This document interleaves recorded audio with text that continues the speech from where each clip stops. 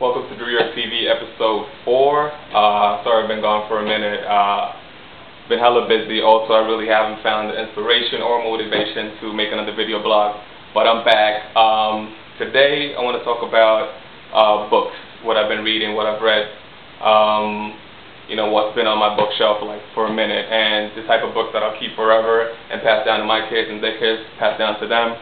Um, the first one is Che Guevara, Guerrilla Warfare. You have to read this. It's, it's a must-have. Um, the next one is Nigger uh, by Randall Kennedy. Talks about basically the word, uh, how it's used, its effects, uh, its origins, um, I think I made a note about this book uh, on my Facebook a couple weeks ago, a couple months maybe. Uh, Benjamin Franklin, The Ways to Wealth.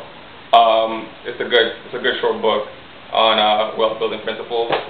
Another nigger book, Capitalist Nigger. Uh, you guys got to get this book. Um, fascinating. Um, by Chika Onyeani.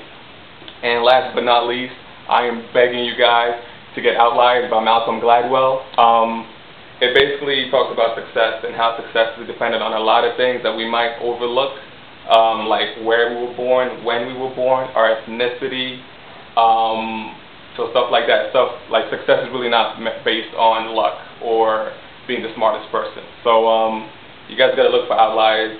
My roommate put me on this book, and I will forever thank him for that because this book is amazing. Um, and last but not least, the new Complex issue is out. Um, we got Eminem on one side and Zoe Saldana on the next. You guys gotta look for this. A lot of hard work and sweat and tears have been put into this, so um, go get that.